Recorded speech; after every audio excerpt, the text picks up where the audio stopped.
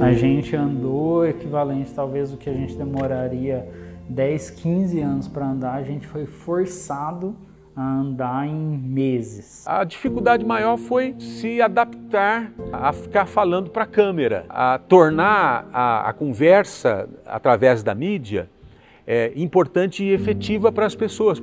Muitas vezes também as pessoas, às vezes vinha na cabeça, pessoa, meu, será que a pessoa está realmente ouvindo? Ela deixou ali e foi fazer uma outra coisa na casa dela, entendeu?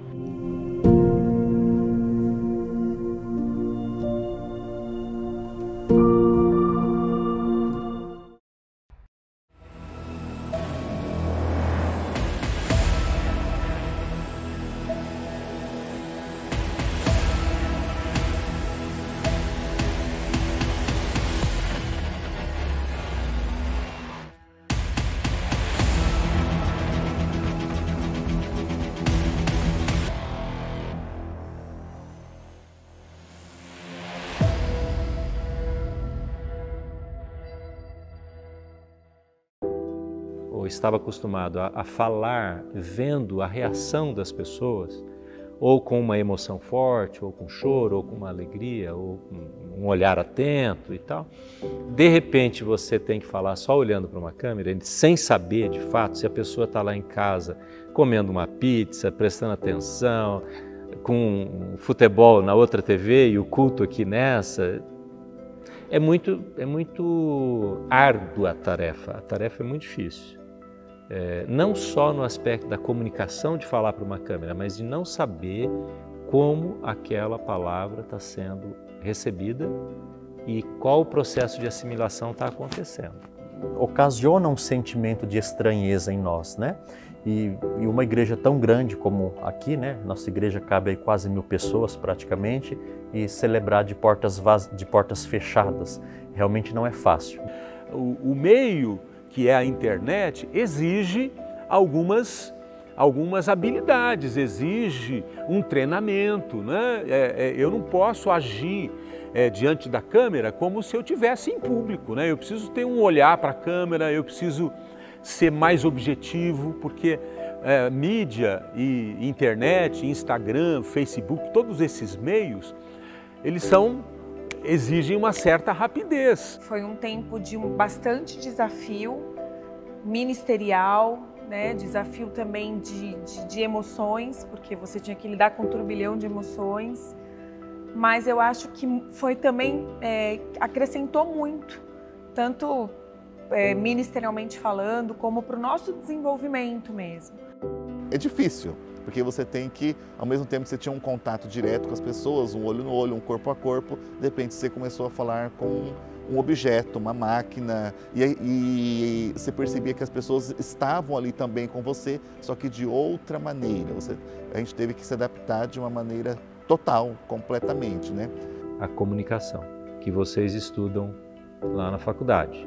A gente teve que fazer uma faculdade rápida em uma semana, 15 dias e como manter a atenção com os olhos fixados numa lente. Não é fácil, não é bom, não é agradável, mas é, é o que a gente podia fazer, né? A primeira celebração aqui dentro foi, como que eu falo, não dá nem para expressar, foi assim uma coisa triste, uma coisa assim que você sentia, parece que na alma, sabe? É aquela coisa, eu falei, gente, como que pode isso, né? A casa sempre cheia, você não vê ninguém, não poder ninguém, as pessoas querendo participar. Aí nós tentamos dar o máximo, o melhor na Pascom para transmitir para as pessoas como se estivesse aqui dentro. Nós não poderíamos deixar as pessoas da nossa comunidade sem participar, mesmo que distante. Então é desdobrar para fazer acontecer dentro da nossa capacidade, dentro do que nós temos, fazer o melhor.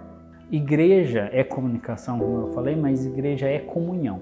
Igreja é estar junto, mesmo estar junto mesmo à distância, né?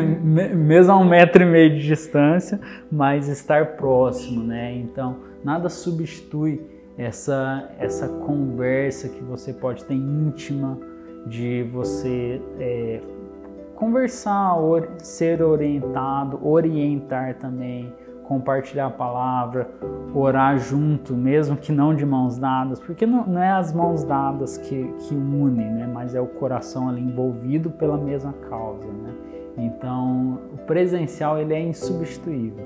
Online você acaba muitas vezes fazendo outras coisas simultaneamente. Você acaba é, até ocupando a tua mente, até mesmo realizando algumas funções em casa ou trabalho ao mesmo tempo que você assiste o culto. Então a distração, a sonolência, você não consegue dar tanto ênfase a todo aquele conteúdo que você está recebendo. E o presencial não, você né, tem aquele tempo exclusivo para você receber da palavra de Deus. Nós temos discípulos e discípulas online que tomaram a decisão por Cristo online, que só não vão poder ser batizados online, mas vão poder ser preparados para o batismo online, vão poder ser preparados para, para se tornarem membros da igreja online. E quem sabe, se num primeiro momento não puderem congregar, vão continuar congregando online, sendo igreja do mesmo jeito. Tem uma série aí de, de, de, de práticas que foram surgindo nesse período da pandemia realizadas no ambiente digital, inclusive ultrapassando as fronteiras das próprias igrejas ou das próprias comunidades. Antes era uma comunidade que se reunia ali na, na igreja do, da esquina né, do bairro, e começou, quando começaram a fazer essas práticas no ambiente digital, começaram a, a, a, alcançar pessoas de outras regiões do país, inclusive de outras regiões do mundo. E a gente descobriu um mundo novo, na verdade, um universo novo, um, número enorme de pessoas que às vezes não consegue se deslocar para vir à igreja. Tem muita gente que mora nas, nas cidades aqui do nosso entorno, Pirapozinho, Regente Feijó, Martinópolis, Presidente Epitácio, pessoas que agora podem acompanhar os nossos cultos. Por exemplo, numa casa em que às vezes vinha, normalmente a mulher é mais sensível à vivência religiosa, né? Numa casa, em, por, por exemplo, em que apenas ela vinha para a igreja, né, para a missa, onde ela teve que deixar de vir e participar de forma virtual, consequentemente, às vezes quem estava ali na casa com ela, esposo, filho, é, por mais que não tivesse participando ativamente, estava vendo ali, né? Estava escutando, estava vendo ali. Então acredito que sim, de uma certa forma, é, tudo isso possibilitou a gente alcançar outras pessoas. A grande questão é o quanto que as pessoas, quantas pessoas evangelizadas pelas redes sociais se tornarão discípulos verdadeiros de Cristo Jesus. Então há uma diferença muito grande, há um, há um gap, há um vale entre as pessoas evangeliz, evangelizadas pelas redes sociais e as pessoas que são acompanhadas, discipuladas pela igreja em si. Eu creio que, que a tecnologia, os recursos né, audiovisuais, eu acho que são coisas que Deus é, permitiu que o homem criasse para que a gente pudesse passar por esse tempo também. Você imagina se fosse para colocar é, um milhão de pessoas dentro de um templo? Dois milhões, como que seria feito isso? Não dá. Pelos meios de comunicação é possível, né? A igreja ela precisa estar em todos os lugares falando com todas as pessoas, independente da classe social, independente também da nacionalidade da pessoa. Então, os meios de comunicação são extremamente essenciais. Uma igreja que se não, não se comunica bem, que não se expressa bem, você pode até ter um alcance, mas você talvez não vai ter é, a assertividade, você não vai ter talvez a intencionalidade para atingir as pessoas, para realmente conectar com as pessoas. Tem um versículo na Bíblia que eu gosto muito, que está no livro de Abacuque, quando Deus diz assim, quando o profeta diz, né? Ele diz assim que é, escreve o que eu estou, quando Deus diz para o profeta, escreve o que eu estou falando para você em letras bem, bem grandes, para que todos os que passarem pela estrada possam ver e entender. É engraçado que isso é um, um, um texto do Velho Testamento, de uma época em que outdoor não fazia o menor sentido, né? Mas o que era isso? Era uma comunicação, era tornar clara a mensagem de Deus. As igrejas que já vinham fazendo uh, né, toda essa dimensão religiosa no ambiente digital, com a pandemia, sem, sem dúvida, deram um salto de qualidade muito grande. Né?